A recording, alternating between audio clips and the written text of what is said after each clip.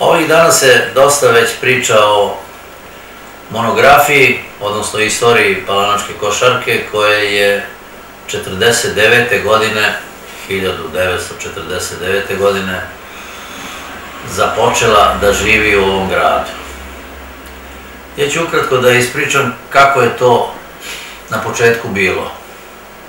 Jednog dana, jedan omanji mladić koji se zvao Hasić Haris, bosanac poreklom, došao je iz Čekoslovačke sa još grupom mladića koji su tamo bili na nekakvom školovanju, a usput su se, eto, opredelili i za određen broj sportova.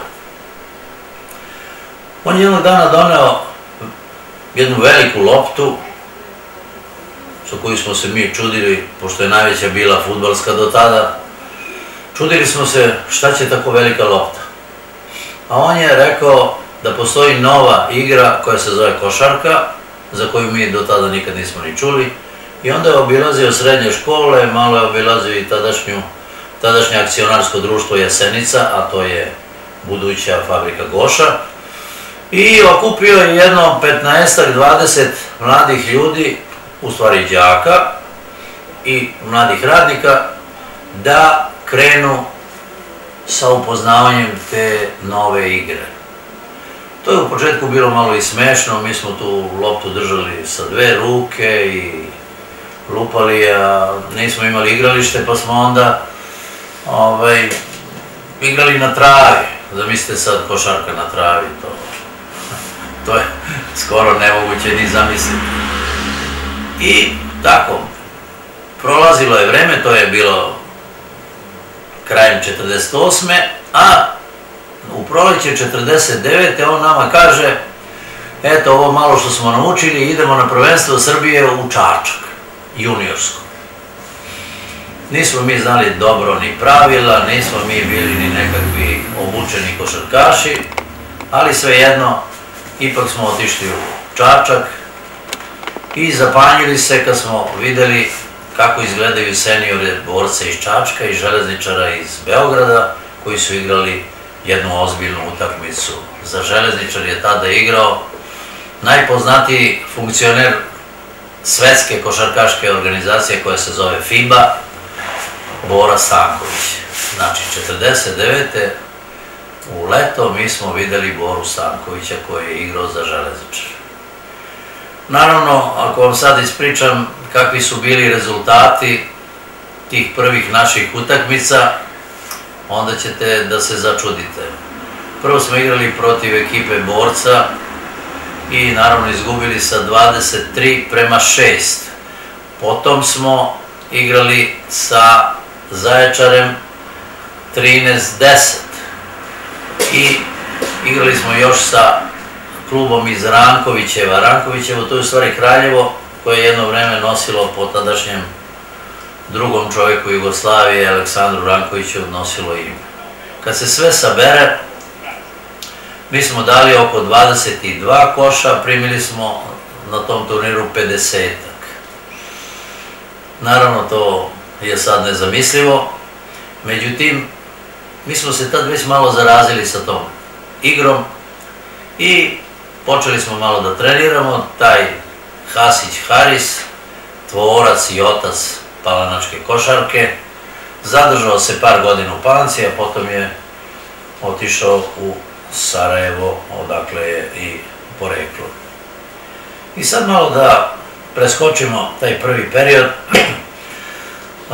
Mi smo počeli već da malo treniramo, da malo igramo, ozbiljnije utakmice, da dajemo malo više koševa, I onda se jednog dana uz veliko angažovanje Čaleta Vlajića, koji je kasnije bio godinama direktor Palanočkog kiseljaka, pojavi jedan mlad čovek koji se zvao Dule Jekovljevića, koji je igrao za borac iz Čačka i on provede jedno desetak, 12 dana u Palanci i Boga mi mnogo nam pomogne u shvatanju igre u odbrani, u napadu, I onda smo odigrali jednu utakmicu protiv Smedereva, to je već bila 50. godina, i rezultat je bio, sećam se, 50 prema 14, što je za ono vreme dati 50 koševa, to je već bilo podosta. I onda su se ređale te prijateljske utakmice, ređali su se nekakvi susreti i u Palanci i na strani, mada smo mi više volili da nam neko dođe na, u Palanku, a kad vam budem rekao gde smo igrali košarku, nećete moći da verujete. Igralište je bilo između današnjeg muzeja i pozorišta, samo malo uvučeno tamo gde je onaj zatvor, ako znate, i pošto nam je predsednik kluba bio direktor Elektromorave, onda smo imali i noćno svetlo, tako da, pošto nije bilo drugih zadovoljstava i zanimanja za mlad i sredovečan svet, uglavnom je Korzo bio prepun ljudi koji su se šetali, tada nije bilo ni televizije, nije bilo ničega, i normalno, svi su onda krenuli na te naše utakmice. Da ih gledaju normalno, mi smo onda imali čak i po hiljadu gledalaca. Jednog dana, pošto smo mi bili gimnazijalci, jednog dana na moju inicijativu, ja sa još dvojicom svojih kolega, krenemo u komitet. U komitetu je radila jedna naša profesorka koja se zvala Radmila Dimić, znači radila u gimnaziji i u komitetu bila funkcioner. I ona se začudila kad smo mi zatražili da nas primi, pitali zašto smo došli, rekli smo da treba da putujemo u Leskovac, ali da nemamo para. Koliko vam treba, mi smo rekli, tada je toliko to para bilo, oko hiljadu dinara. Ona je pozvala blagajnika i rekla ovim dečacima 3000. Mi smo se zaprepastili, naravno, tolike pare u ono doba i odmah smo sračunali da je baš fino što ćemo eto, moći da tamo prespavamo i da normalno jedemo i da putujemo. Naravno, tada se putovalo vozom, drugih sredstava nije bilo, niti su postojala.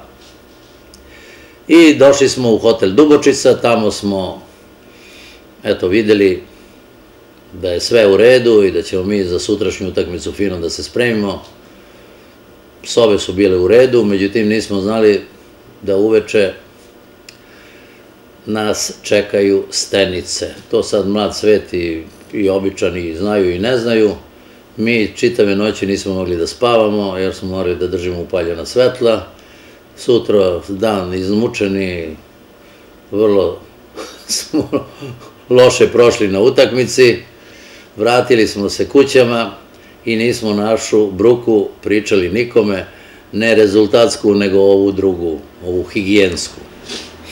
I sad, da malo opet nešto preskočimo iz ove monografije, pa da vam kažem ko su prijatelji košarkaški, a takvih imamo dosta, koji su dali svoje mišljenje o palanačkoj košarci, o igri pod obručima, a to su pre svih dojen, legenda, zovite to kako god hoćete, Ranko Žeravica.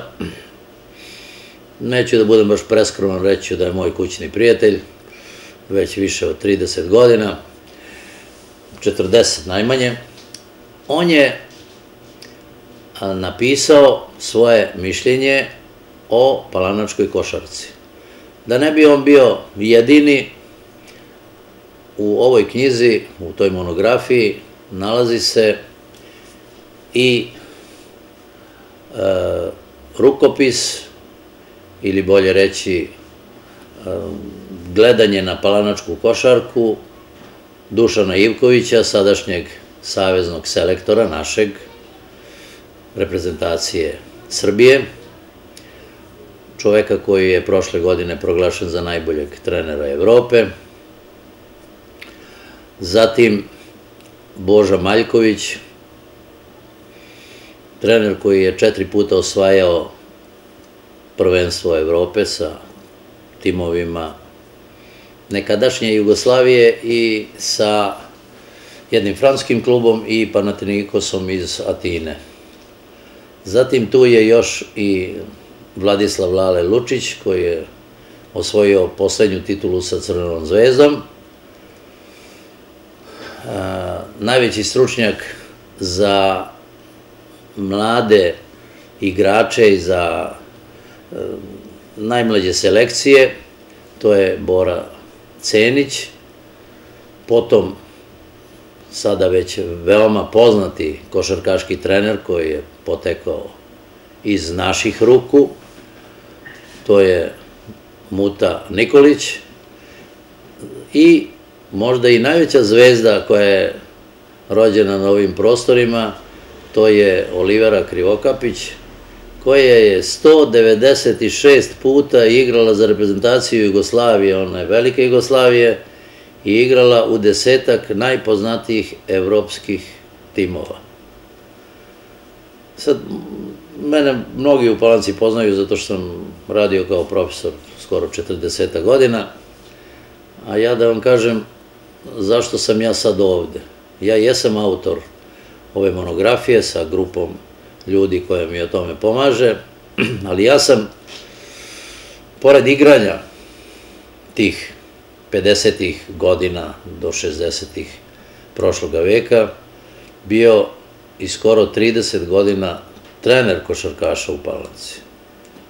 Koje su naše ovako neke naj, najveći dometi?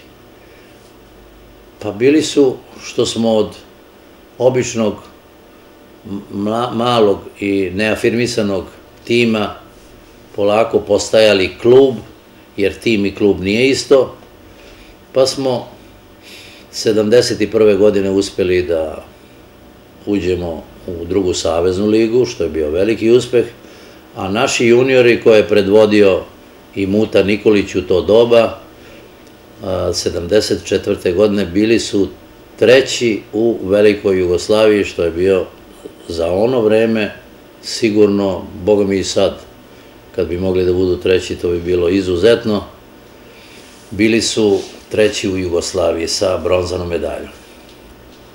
Šta bi još bilo interesantno da se kaže? Da smo, zahvaljujući tim privatnim prijateljstvima i ekspanziji košarke, pobednike svetskog prvenstva iz 1970. godine, koje je održano u Ljubljani i na kome reprezentacija Jugoslavije bila prvak sveta, trener je bio Ranko Žerovica,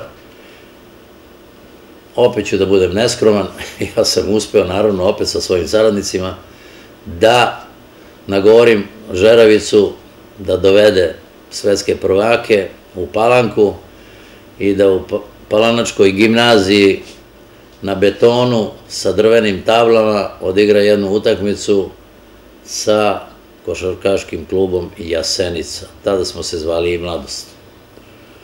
Rezultat naravno nije važan, ali ja i danas tvrdim da ni jedan manji grad u bivšoj Jugoslaviji, a sad u Srbiji, nije imao ni približno takvu šansu da svetski prvaci u nenormalnim uslovima, moram da kažem nenormalni uslovi, da odigra jednu revijalnu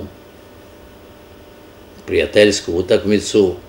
Tu su dominirali najpoznatiji igrači onog vremena i, i Slavnić, Boga Mikićanović tad nije još igrao za reprezentaciju, jer Slavnić je stariji četiri godine od Kićanovića, Tu je bio Čermak, tu je bio Šolman, tu je bio Skansi, to su najpoznatija u to vreme i evropska imena. Mi nemamo više takvih igrača danas, imamo nešto malo koji igraju ova dvojica u CSKA-u u Moskvi, to su Teodosić i Krstić i još ponešto u Španiji, malo u Italiji, kod nas nemamo nekih ekstra igrača, Pa bih ja praktično ovu svoju prvu priču, pošto ćemo opet da se verovatno vidimo do ove promocije knjige, priveo polako kraju, s tim